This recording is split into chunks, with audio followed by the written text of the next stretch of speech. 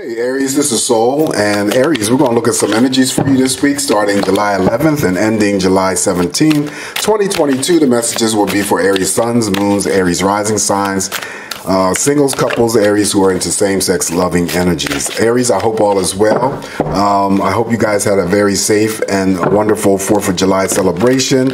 And also, too, I want to thank all the Aries or, you know, contributors to my channels through the uh, super thanks that I completely forgot about that I enabled. And I was trying to figure out where all this contribution stuff was coming from. Uh, so I didn't, you know, acknowledge or recognize it last week, but I am doing it this week. I really do appreciate appreciate you guys for supporting me and my channel, and I'm very, you know, I'm deeply humbled. I'm deeply humbled. So thank you so much. Anyway, so um, I'm using the Black Tarot to deliver your messages this week, Aries. Uh, so let's get into your energies. Without further ado, our messages for Aries suns, moons, and Aries rising signs.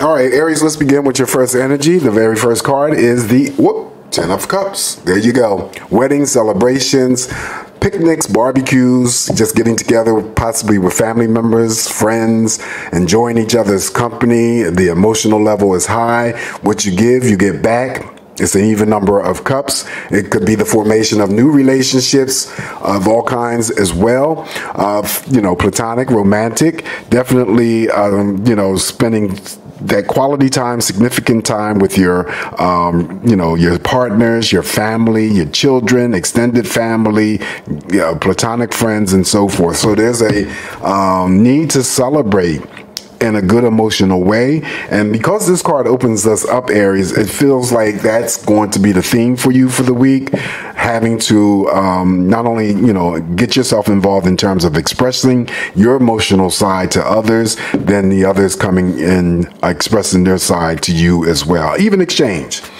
Ten of Cups represents Cancer, Scorpio, and Pisces. So your shadow is the Seven of Cups. So options, the card that represents illusions as well.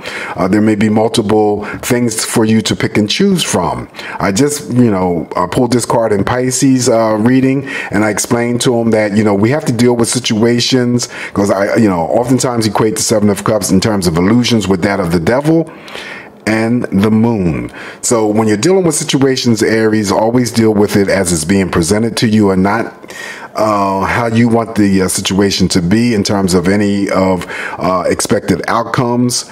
Deal with realism here, and then when the people show you who they are, these are the other cups, other you know connections that you may have, which could be romantic, platonic, uh, family members, extended family members, and friends. So listen, don't take that what I just said because I've been explaining in this whenever the seven of cups has been showing up that you need to understand that when I say that a person shows you who they are it's never to be taken in a negative connotation kind of way no. Because the person can still show you who they are and the feelings that they express could be so genuine that um you know that you'll be able to you know recognize that energy. So don't be mistaken by that So you need to understand that, you know, when I say a person shows you who they are, it could be either they're showing you their true selves and it's genuine, or they can show you their true selves and it may not be genuine. You have to be the discerning factor. Seven of Cups is in your shadow, represents Cancer, Scorpio, and Pisces. If there are any options to, you know, pick and choose from this week, make sure that you are choosing and picking accordingly from the right cups because you don't want to pick from the wrong cups, uh, Aries, and, you know, because it always comes back and haunt you or bite you in your behind, and you don't want that. All right. Still a beautiful card, however. Following the Ten of Cups here uh, for you, Aries, we have the Eight of Wands. So the Eight of Wands is good communication, effective communication. This is anything related to those Aries who may have been online shopping and you know you were on Amazon, you were on Etsy, whatever your favorite shopping site is, Macy's. That package that you ordered is on its way. It could be that you're waiting for some important mail or other uh, significant important news to arrive. It's coming. It is coming. Whatever you need to express to others, being that it follows the Ten of Cups, will be well received. And then whatever information that comes from others to you, it will be well, you know, well received by you as well. So great communication. I see a lot of communication in terms of uh, texting energy. Somebody is receiving something uh, through the mail. Um, of importance. And actually, too, this might put a great or grand smile on your face.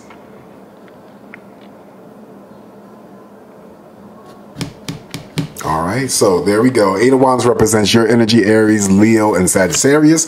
Now we have the Five of Cups. Okay, the Five of Cups is here. And the Five of Cups generally just represents a disappointment or some sort of emotional loss. may not be you personally, Aries. It may be somebody else. It could be your children, could be your romantic partner, someone just feeling some type of way. I oftentimes talk about that when the Five of Cups shows up here, it's temporary energy, so you're not going to be feeling sad and, um, you know, like you lost something forever. No, it mirrors the um, Ten of Cups. So again, it's the relationships or the connections that you have, uh, but it may not be you on a personal level. Uh, sometimes, you know, we go, we'll get into those little fancy moods and whatnot, and there's no one who is being responsible or a situation that may be responsible for us feeling that way. We're just going through chemical dumps in our brains. We all go through that, and it's a shifting of energies. Sometimes we accumulate too much of one thing, and it needs to be expelled so that the uh, energy can be balanced out. Five of Cups here represents Cancer, Scorpio, and Pisces. Following the Five of Cups, now we have the, oh, I just talked about about that devil. Now here she is. The devil is here. This is talking about toxicity, uh, relationships that need to be addressed, bad habits that need to be addressed. Only you know that, Aries, not me. Um, the devil is about restrictions and being held uh, and bound to a situation, person, or event. This is a form of a you know obsession. So you could be obsessing over someone, or someone could be obsessing over you. Someone could be working too much. Okay, that's part of an addiction. Someone could be dealing with, um, you know, drugs, alcohol, substance abuses. It may be somebody that you know. It may not be you, but it may be somebody that you know has a drinking problem, has a smoking problem, possibly has a sexual addiction, gambling problem, or somebody, including yourself, is working too many hours. And if you are, then you need to pull back devil's asking you to address that so that you can restore some sort of balance back into your life because if you're working so much aries then that means another part of your life is suffering. Personal family something is something's got to go. Break the chains of the devil's influence and then free yourself um, from that energy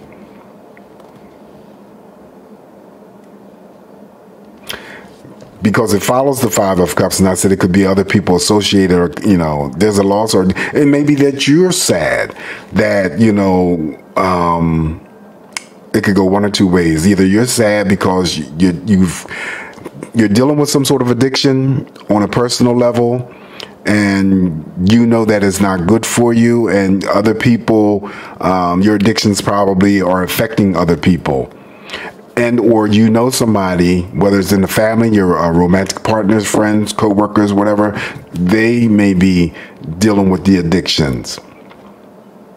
And then they may be the one who is feeling, you know, a loss or feeling sad or disappointed.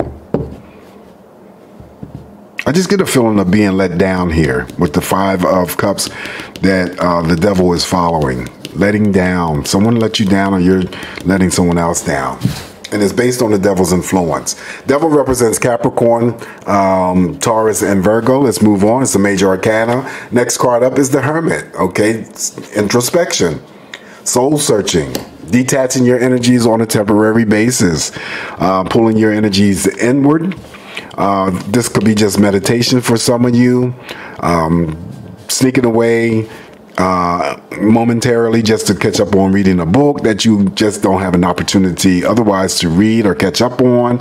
This is downtime, me time, alone time. It's temporary too. If you have to do some uh, meditations or, you know, deep soul searching or introspection and whatnot, normally you go within and, and you know, you figure things out and then you usually come out with the uh, answer. So uh, Hermit is neutral energy for me. It represents Virgo, Capricorn, and Taurus. Following the major arcana, of the Hermit, now we have the Two of Wands. So again, you're waiting for something or so, someone to arrive. I always talk about slow movement when it comes to, um, you know, could be projects, it could be relationships. There's some sort of stagnation and some form of energy or, yeah, and some form of energy that may be occurring around you could be just what I said about the Eight of Wands, even though it's going to be, you know, the packages are coming, the, the mail coming, uh, waiting for that energy. It's coming.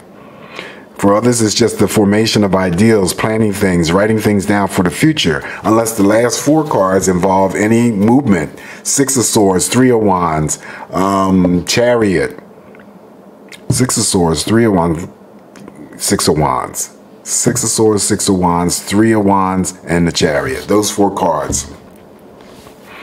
All right, so the uh, Two of Wands here representing fire, uh, Aries, you, Sagittarius, and Leo. Now we have the Ten of uh, Swords, two tens. You already received the Ten of Cups as your opening energy definitely a completion or a cycle is that's you know it's going to end for you. If some of the Aries out there that i'm reading for may have been dealing with some sort of stressful uh, energies it doesn't necessarily have to be uh, high or extensive.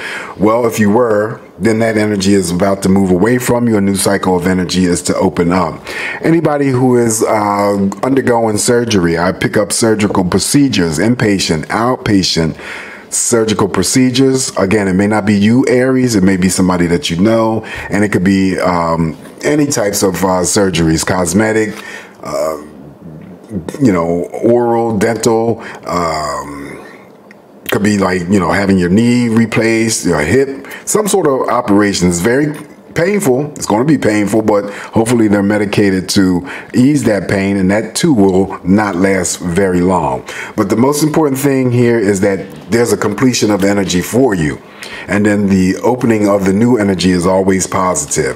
Ten of Swords represents Gemini, Libra, and Aquarius. Uh, up next now we have the Moon card, Revelations, Secrets coming to the forefront. Uh, the um, Moon, just like the Seven of Cups, and look, the Seven of Cups, the Devil, and the Moon, because these are the three cards that have that cast of illusion that I always talk about. So now you have the uh, triple energy here, and this is always paying attention to um, not only your intuition, because that's what the moon, um, you know, uh, exemplifies, um, but it also too is the revelation. Things that were once hidden comes to the forefront. This could be anything related to someone's feelings towards you. Um, you know, the um, level of the moon in terms of the emotional aspects. Sometimes, you know, it could be so high. Sometimes it could be, you know, driven so low. So we got to be careful to make sure that we're always trying to strike a balance and keep those mental energies in the middle uh, because this can cause, you know, a little bit of the blues and we don't want that. Um, someone, including you, Aries, could be going deeper uh, with your feelings. Someone could be expressing how much they love you, uh, how much they may be falling in love with, or they're telling you they're falling in love with you. That's the moon. So it represents Pisces, um, Cancer, and Scorpio, major arcana, one, two, three. You got three major arcanas. Up next, we have the Six of Pentacles. This is the card of generosity. This is the card of gifts. This is the card of pay raises. Also, it could be someone getting a job. Apology forthcoming if there was some sort of slight um, that was handed to you. Even number of pentacles. So that means the apology comes out to you. You accept it. Um, and that's what balances the energy off. So the Six of Pentacles here represents Taurus, Capricorn, and Virgo. I do get some sort of form of generosity. Um, underneath the Devil card, I, I spoke, you know, briefly about someone is working too much. That would be my link there. Um, that someone is focusing too much of their energy on their work, and then there's some other areas that is suffering. The Five of Cups. romantic or it could be your social life or you know your romantic life something is suffering could be suffering